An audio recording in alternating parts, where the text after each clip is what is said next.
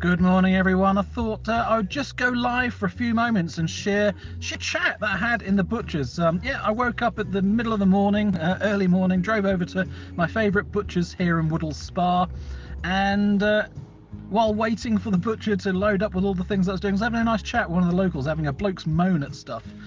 And uh, I thought I would share some of the content with that of that with you because it seems seems relevant. So anyway, um, here's the view of Woodhall Spa where we are. It's a gorgeous place, but fuel prices, fuel prices. Morning, Alan. Fuel prices are town, aren't they? And uh, I heard this chap. He was saying he runs a holiday business here on the boats just down at the river. Sally Barbar, good morning. Uh, and he was saying that people aren't coming. The holiday makers aren't here this year. And the butchers noticed the same, that the holiday makers aren't here as well. And Susan and I were just talking about it just the other day. We went for a walk alongside the Broads, and there weren't as many boats. It was very, very noticeable. Morning, Andy. Uh, oh, gracious, that UPS pulled in a bit close to my car. Uh, yeah, so all, all, these people that aren't going on holiday in the UK, and the bloke on the boats was saying it's because of fuel, it's fuel prices that it's not just the cost of the holidays cheaper abroad um, than it is in the UK, which it is. Um, we, we were looking at going on a broad boat just for a, uh, a little mini adventure of three or four days or a week. And to get a really, really plush one, a nice one, you're talking like 1500, 1700 quid out of season, plus a couple of hundred pound deposit for the fuel, plus your food, you're talking two and a half grand. So two and a half grand for a week whereas you can go abroad for a couple of months for that, can't you? So it's no wonder that I was quite shocked. I was quite shocked that holidaymakers um, have stopped in the UK so suddenly, because after COVID and the lockdowns, there seemed to be a lot more people that were wanted to go on holiday and were reaching out. Fancy a bed, mate? Hiya. Working since since clock in Leicester. Yeah, some of us are up early. Uh, we were out at the door at five this morning. So yeah, oh sorry, I've lost lost my train of train of thought. Um, it's I don't think it's just the cost of the actual holiday and the cost abroad is cheaper. People really are worrying about fuel. The butcher himself was saying that his car's full of fuel at home and he hasn't been out because he doesn't. I couldn't miss the opportunity not to gloat, but to let them know that you know, I saw that coming. The issue about prices and fuel increasing and being restricted on where you might drive and hence I went electric. So I've just told them that you know I've driven over from Norfolk it's a couple hundred miles and it's not going to cost us more than a couple of quid. And therefore we're free to do it. And yeah they're all nodding their heads.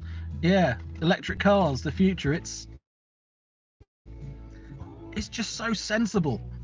And yet you see some of the comments in my videos where people say oh you know you're rich bastard and excuse the French. Um and, and they just think you're gloating about what you've bought and all these things that you've got. And it's not it's not gloating at all. It's just sensible. I've worked hard saved hard and i've seen a future for living economically in my retirement. And to do that i've invested in electric. It just makes sense. And it's almost upsetting now isn't it to watch people suffer with fuel prices and to really, really worry about it to the extent that they're going to stay in and stay at home and, and not go and see family and not go out because of it.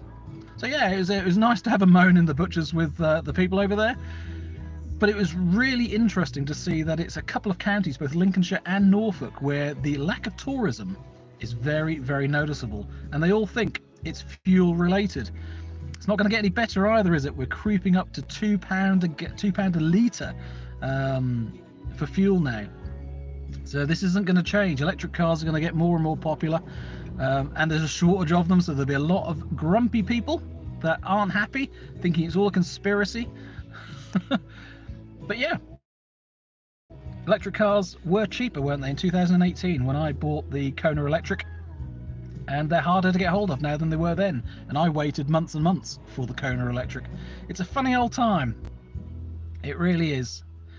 Anyway, uh, I don't know whether this video is actually going to stay up because I've left the radio on. We've got Joshua Radin playing in the background, and uh, I don't know whether this video comes up as monetized or not.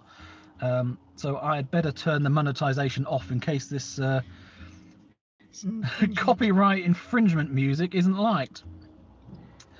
Yeah, electric is the future, and Ioniq 5. But did you see the last video? We're going Kia. We're going with uh, the. Soul EV, and it's it's all Susan's fault. I mean, it's uh, it's so refreshing now that we've made a decision. We've got the car. It, it has been a funny old journey trying to find a second car. It's like we're just searching and testing cars for the sake of it. I feel settled now that we've made a decision. Right, so I'm just having a sip of my coffee. Anyway, just thought I would share that with you. Hi, Nige. Just about to make the jump into electric. Yeah, oh, very wise, mate, very wise. Looking at the E Niro and Soul. It's a Nigel thing. So I'll give you a very early heads up. I didn't plan on doing this, but why did we go for the E-Soul? And it's just a very, very weird thing that we we went for not a test try and see an interior that would give us a clue as to what the new Megane would be like.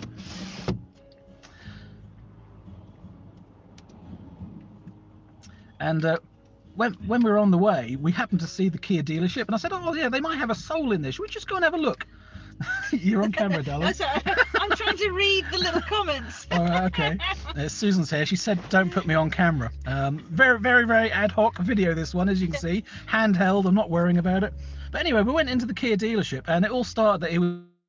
He was a nice guy. He was dog friendly. He asked "Can the dog come in. Can, can he meet him?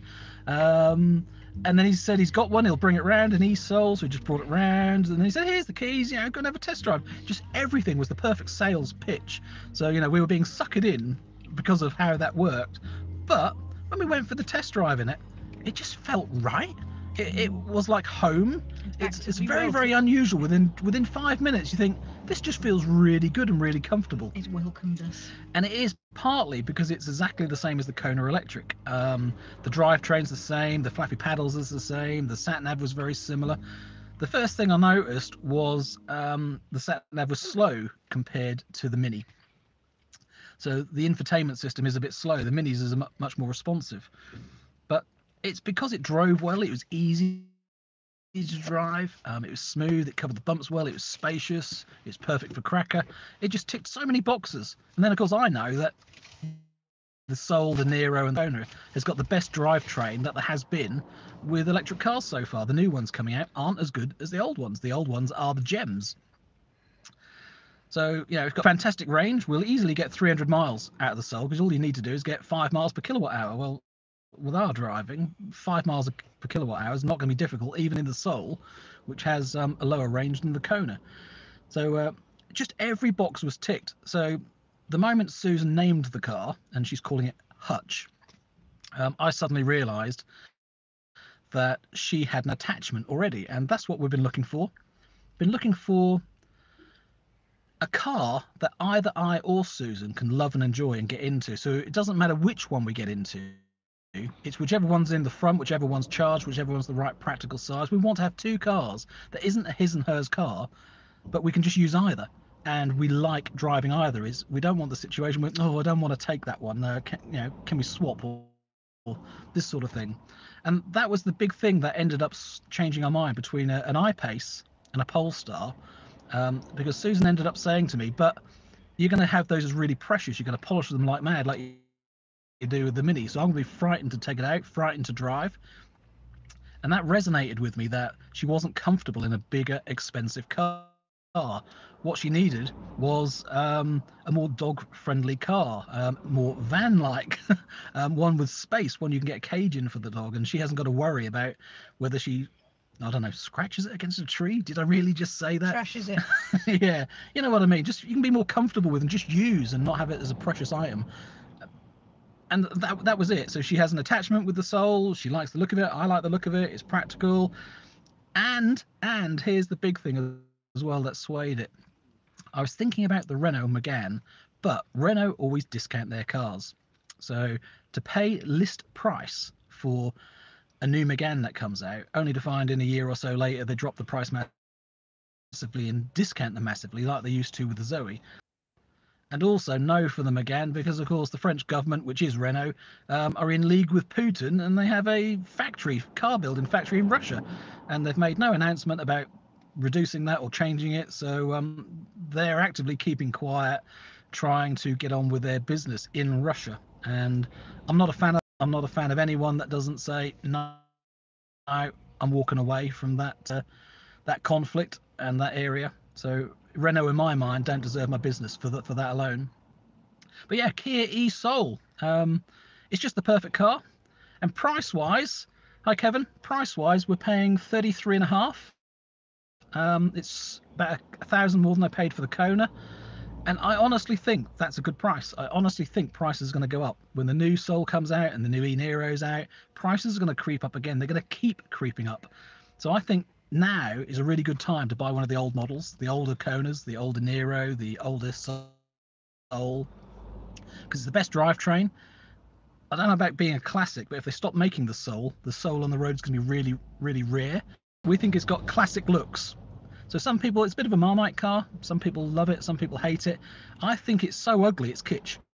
Uh, I think that's what Susan said as well. Or so um, kitsch, it's cute. yeah, so kitsch it's cute. Um, it, is interesting when you look at the lines and you see is it like Range Rover like you know does it look like a Skoda Yeti? And I, I just like it. So anyway there's the reasons. That's why we're going with the e-Soul. Um we, we've chosen it for a huge number of reasons but it's such a logical good choice. It just makes sense.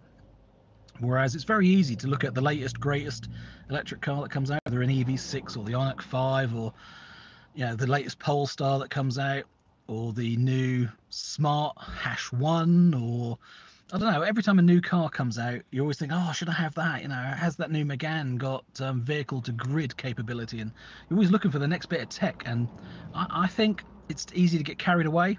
So i've got on old school i've gone with the old model we're very very happy and uh, you paid full list for the Niro. Yeah, I paid full list for the Kona as well. But very, very happy to pay list price when prices are going up because it then feels like you got a bargain. Um, so anyway, there you go. Um, Kia e-Soul is what we've done, but that's not what I was actually going to talk about. I wasn't going to tell you about that. I was going to do a separate video, but uh, done anyway. Lead time. I was told the lead time. Whoops, sorry. I was told the lead time is between July and September on the Soul. So I think it's a case of they're going to do one more production run of the car because it's only in one color, um, white. You can have white, white, or white. Um, so I guess they're going to do one production run at the factory for the Soul and get the old model out before they bring out the new model. So it'll be a case of how many orders go through, and when they got enough for the production run, they'll uh, they'll produce them. So sometime between July and September. Wow, second hand with 9,000 miles on as well, and you paid that price. There are some ridiculous prices being quoted out there. It is cheaper now to buy them at a dealer, isn't it, and buy them brand new if you can wait. So it really does make sense to put your deposit down and uh, and order. Sorry about the reconnections. There's a few reconnections going on. Cracker's getting hot. Hope this video does go live without um, being blocked for copyright. I'll have a look at that in a moment. Thanks for watching, everyone. Thanks for listening. Uh, hope you don't mind this impromptu video. Bye for now, as always. See ya.